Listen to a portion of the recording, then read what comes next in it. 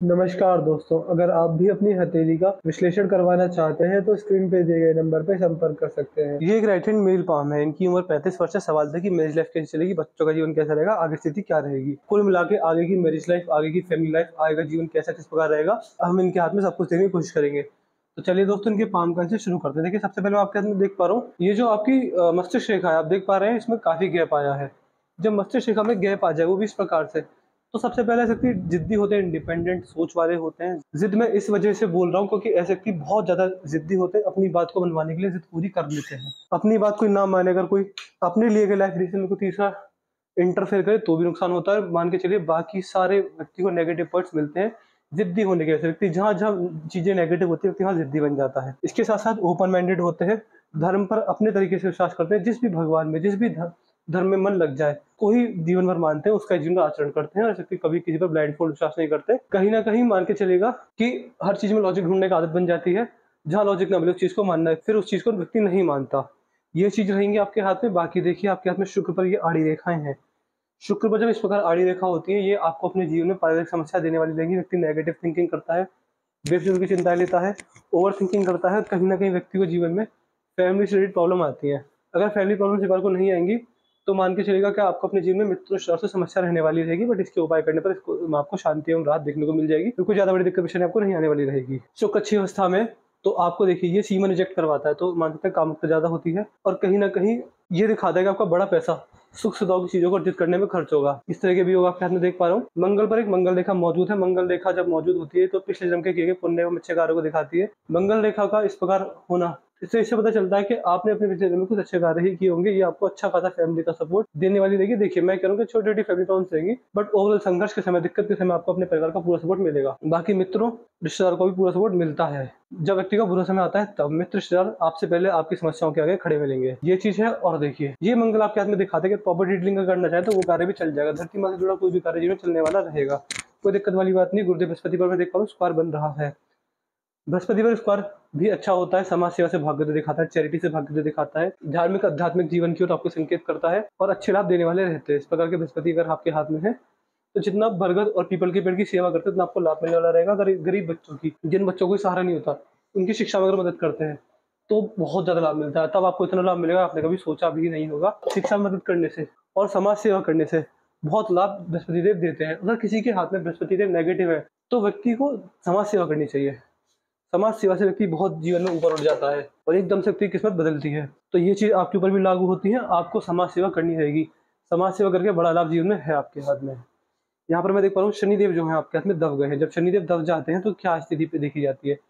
शनिदेव का दबा हुआ होना व्यक्ति को जीवन में समस्या देने वाला रहता है।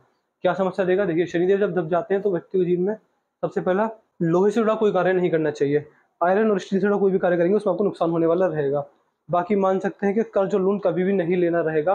कर्ज और लोन जब भी लेंगे जीवन आपको नुकसान का सामना करना पड़ेगा। और कैसी भी स्थिति आ जाए, जीवन में एक बार को दो रोटी कम खा लेना, एक बार को आप मान सकते हैं भूखे सो जाना बट लोन कभी भी किसी भी परिस्थिति में नहीं लेना रहेगा। लोन लेके बड़ी मुश्किल में फंस सकते हैं। बाकी आप मान के चलिएगा कि ऐसे व्यक्ति आलसी भी होते हैं, अपने काम को करने में आलस दिखाते हैं तो जब भी जीवन में आप आलस दिखाएँगे, आपके बनते बनते काम रह जाएँगे, आपके काम रुक जाएँगे।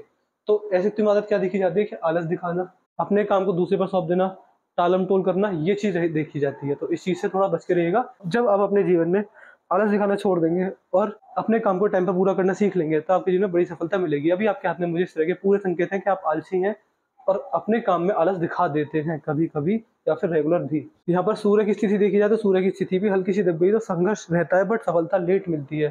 सफलता लेट मिलने का सूचक है, कहीं ना कहीं पिता से लड़ाई झगड़े और पिता से बचपन में काफ़ी ज़्यादा मार खाना। और बहुत सारी बातें पिताजी से सुनना। ये चीज़ रहती है। बाकी सूर्य देव को अगर मज़बूत करना चाहते हैं, जितना अपने पिताजी की सेवा करेंगे, जितना उनके चरणों में झुक करेंगे, जिनका उनकी मर्यादा का पालन करेंगे, जितना उनका मान सम्मान करेंगे, जितना अपनी नज़रों में अपने पिता को भगवान समान मानेंगे, उतना लाभ मिलना रहेगा और जीवन में बड़ी सफलता को पिता की सेवा द्वारा आपके जीवन में अर्जित किया सकता है। पिताजी की सेवा पिता से पिताजी से जुड़े रिश्तेदारों की सेवा, जैसे कि दादाजी या फिर पितृपक्ष के जितने भी लोग होते हैं, पितरों की जितनी व्यक्ति सेवा करता है, पितरों के नाम से अगर महीने में एक बार भी अन्न का दान निकाल देते हैं या फिर पितरों के नाम से कुछ भी अपना किया गया शुभ फल का प्रभाव पितरों को दे देते हैं। तो सूर्यदेव इतने मज़बूत हो जाएँगे कि आपको जिनमें करोड़पति होना छोटी बात रह जाएगी। यहाँ पर मैं देख पा रहा हूँ बुद्ध पर बुद्ध पर सीधी खड़ी रेखा है। बुद्ध पर जब सीधी खड़ी रेखा होती है, ये आपको नॉर्मल तरीके का व्यापारी बनाएगी। एक नॉर्मल व्यापारी बनने के पूरे पूरे योग हैं। कहीं ना कहीं पैसे का सदुपयोग भी आपके हाथ में जब पैसा आएगा, बड़ा पैसा आएगा, उसका सदुपयोग करने में सक्षम रहेंगे। इसमें कोई दिक्कत, परेशानी वाली बात नहीं आएगी। यहाँ पर आपके हाथ में धनुषा का रेखा बन गई। व्यक्ति समझदार होता है, सही समय पर सही निर्णय लेने सक्षम होता है। जीवन में कभी जल्दबाजी में अगर भावना में गुस्से व्यक्ति कभी गलत निर्णय नहीं लेता। यहाँ पर मैं देख पा रहा हूँ, जो आपके हाथ में मंगल है। मंगल आपके हाथ में काफ़ी बड़ी अवस्था में इस प्रकार के जब मंगल होते हैं तो ऐसे व्यक्ति को नॉर्मल लाइफ पसंद नहीं होती। आप मान के चलिए, जीवन में जितना संघर्ष, जितना ऑब्स्टेकल्स जितने परेशानी आएँगी, उन परेशानियों से सीख कर उनसे आगे बढ़कर जीवन में बड़ी तरक्की को जित करेंगे। मान के चलिए जो संघर्ष होता है वो व्यक्ति को जीवन में आगे बढ़ाता है, व्यक्ति को पीछे नहीं ढकेलता अगर संघर्ष से दो कदम पीछे हटेंगे तो चार कदम आगे बढ़ेंगे। इस तरह का संघर्ष जीवन में रहेगा और बड़ी सफलता अर्जित होगी आपके जीवन में संघर्ष द्वारा। क्योंकि जो समस्या आएँगी वो आपको इतना मज़बूत बना देंगी कि आगे उस तरह की समस्या का सामना अगर आप करेंगे तो उससे जल्दी निकल के आ जाएँगे। समस्या व्यक्ति को बहुत कुछ सिखाती है। प्रेशर व्यक्ति को बहुत कुछ सिखाता है। चंद्र आपके हाथ में मज़बूत है तो महादेव की भक्ति किसी प्रकार भी करते हैं तो बहुत बड़ा लाभ मिलने वाला रहेगा। देखिए, महादेव की शरण में चले जाइए। खाली समय में अगर हो सके तो। दिन में भी अगर खाली है दोपहर के टाइम भी खाली है शाम के टाइम भी खाली है तो ओम नमः शिवाय मंत्र का जाप कीजिए। अगर रोड पर जा रहे हैं तो ओम नमः शिवाय का मंत्र का जाप कीजिए, चलते चलते। जब आप खाली हैं, तब आप ओम नमः शिवाय मंत्र का जाप कीजिए। आपको इससे बड़ा लाभ मिलने वाला रहेगा बहुत मज़बूत होंगे। स्त्री जाति के संबंध में मधुरता आएँगे, पारिवारिक जीवन में मधुरता आएगी और पर्सनल लाइफ में व्यक्ति के जीवन में अच्छा समय शुरू हो जाता है। महादेव की सीम कृपा बरसनी शुरू हो जाएगी। तो कोई दिक्कत परेशानी आपको नहीं आने वाली रहेगी। यहाँ पर आपके हाथ में देख पा रहा हूँ, जो आपकी पिंकी फिंगर है, काफ़ी छोटी बढ़ गई है। इसका आप एक उपाय कर सकते हैं। कि इस उंगली को, नाखून को बढ़ा लीजिए।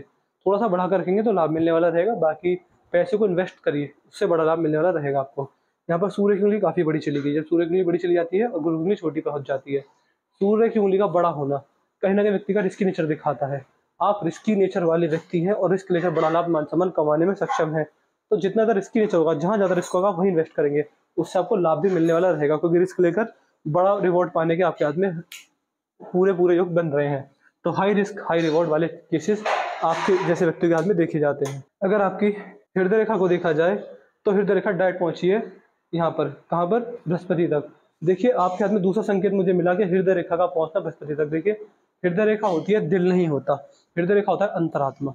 तो अंतरात्मा की रेखा पहुँची है बृहस्पति तक। बृहस्पति तक हृदय रेखा का जाना इस बात को संकेत करता है कि आप जैसे जितना ज़्यादा चैरिटी करते हैं, गरीब लोग के काम आते हैं, आगे बढ़कर उनकी मदद करते हैं, अपने से छोटे वर्ग के लोगों को अगर अन्न का दान करते हैं तो बहुत लाभ मिलने वाला रहेगा। यहाँ पर जैसे मैं देख पा रहा हूँ, ये उंगली खुली हुई है। यहाँ पर जैसे मैं देख पा रहा हूँ, ये दोनों जीवन रेखा मस्तिष्क खुल गई हैं। ये जैसे मैंने बताया, जिद्दी बनाते हैं। जीवन रेखा आपके दिक्कत है, क्योंकि मल्टीपल ट्रैवलिंग लाइन बहुत जा रही है। तो ये व्यक्ति को सीखिए सबसे पहले बॉडी दोष देती है गुस्से की समस्या देती है, और ट्रैवलिंग भी काफ़ी अच्छी खासी करवा देती है। व्यक्ति जीवन में अच्छी खासी ट्रैवलिंग करता है। जीवन में हर दो साल दो साल में घूमने जाना ये में बनती रहती है। ट्रैवल काफ़ी ज़्यादा होता रहता है। बाकी यहाँ पर ट्रायंगल भी बन रहा है तो लगभग पचास वर्ष के आसपास प्रॉपर्टी आने के योग हैं आपके हाथ में, मुझे दिख रहे हैं।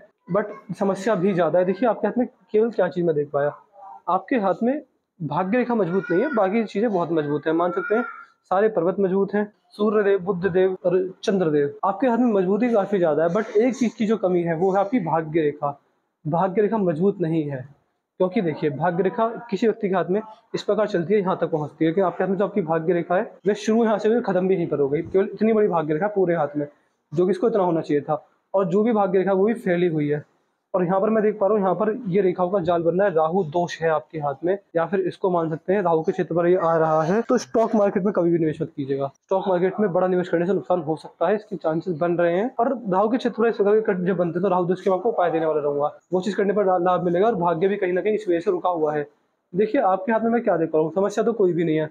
अच्छा फैमिली लाइफ है अच्छा फाइनेंशियल लाइफ है बट एक चीज़ होती है कि व्यक्ति की इच्छा पूर्ति होना, इच्छा पूर्ति होने में कहीं ना कहीं कमी आने वाली रहेगी। बाकी देखिए भाग्य रेखा अच्छी नहीं है तो भाग्य बनता है कर्मों से। आपने सुना भी होगा कि कर्म की हमेशा भाग्य कर्मों से ही जैसे आप कर्म करोगे, वैसे आपका भाग्य होगा।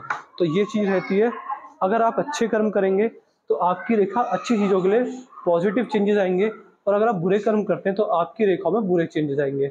अभी आपके हाथ में मुझे मुझे लग रहा है कि आपको ज़्यादा चैरिटी ज़्यादा गरीब लोगों की मदद, ज़्यादा लोगों का अच्छा बनने की ज़रूरत है, तभी आपको वो कार्य मिलेंगे, आपको किस प्रकार, कौन से उपाय, कैसे करने आपको डिटेल में पहुँचा दूँगा। जितना मूक पशुओं की सेवा करेंगे, उतना भाग्य बनेगा। जितना गरीब लोगों की मदद करेंगे, उतना भाग्य बनेगा। कैसे, किस प्रकार, क्या दान करना है, वो भी मैं आपको देने वाला रहूँगा। उसे आपको लाभ मिलने वाला रहेगा। तो अभी आपके हाथ में सब कुछ बढ़िया है। मुझे आपको किस किस चीज़ के उपाय देने देंगे? मुझे आपको देने देंगे शुक्र के उपाय, मज़बूत भाग्य रेखा के उपाय। जीवन रेखा थोड़ी हल्की फुल्की बिगड़ रही है यहाँ पर इसके उपाय। और हाथ में शनिदेव दबे हुए इसके उपाय। चार उपाय मुझसे लिख दीजिएगा। देखिए, मैं डेली काफ़ी लोगों से करता हूँ। तो मुझे पता नहीं चलता कि किसको कौन से उपाय देने तो आप ही मुझे व्हाट्सएप पर लिख दीजिएगा कि आप मुझे इन चारों चीज़ों के उपाय दे दीजिए तो मैं आपको सारे उपाय डिटेल पहुँचा दूँगा। तो ये चीज़ रहेगी, बाकी अगर आपके हाथ में अभी आपको भाग्य मज़बूत करने के लिए और अच्छा समय पाने के लिए और हाथ में मजबूती पाने के लिए और जीवन में भाग्योदय होने के लिए क्या करना रहेगा?